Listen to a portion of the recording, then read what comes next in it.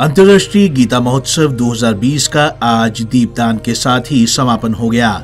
ब्रह्मसोवर का पावन तट आज लाखों दियो की रोशनी से रोशन हुआ। शंखनाद और गीता महाआरती के बीच मुख्यमंत्री मनोहर लाल ने दीपदान किया। इस दीपदान के साथ ही परंपरा अनुसार अंतर्राष्ट्रीय गीता महोत्सव 2020 भी संपन्न हुआ। गीता महोत्सव के आज आखिरी दिन महाआरती की संध्या में दीपोत्सव मुख्य आकर्षण का केंद्र रहा। इस दीपोत्सव में जहाँ ब्रह्मसोवर के पावन तट पर दो लाख पच्चीस हज़ार दीपक जलाए गए, वहीं कुरुक्षेत्र और 48 कोस के एक तीर्थ स्थलों पर भी लाखों दीपक जलाए गए। इस दौरान मीडिया से बातचीत करते हुए मुख्यमंत्री मनोहर लाल ने प्रदेश वासियों को दीपावत्सव व जयंती समारोह की शुभकामनाएँ दी।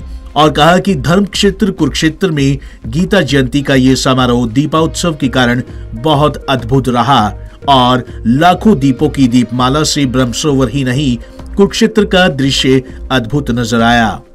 साथ ही सीएम ने कहा कि कोविड 19 के कारण अंतर्राष्ट्रीय गीता महोत्सव के कार्यक्रमों को इस बार छोटा किया गया। लेकिन आने वाले समय में गीता मनीषी स्वामी ज्ञानानंद के सानिध्य में गीता महोत्सव को और भव्य तरीके से आयोजित किया जाएगा।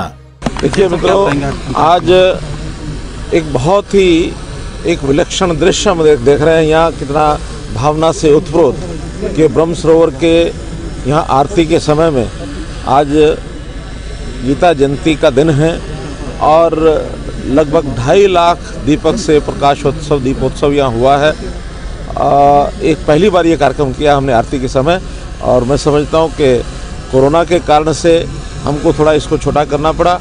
आ, स्वामी जी से मैंने चर्चा की है कि अगले वर्ष इसको और ज़्यादा भव्य करेंगे और अंतर्राष्ट्रीय गीता महोत्सव 2020 के समापन समारोह पर संध्याकालीन आरती के तुरंत बाद ब्रह्मसोवर के तट से रंग बिरंगे हिंडोले हवा में छोड़े गए।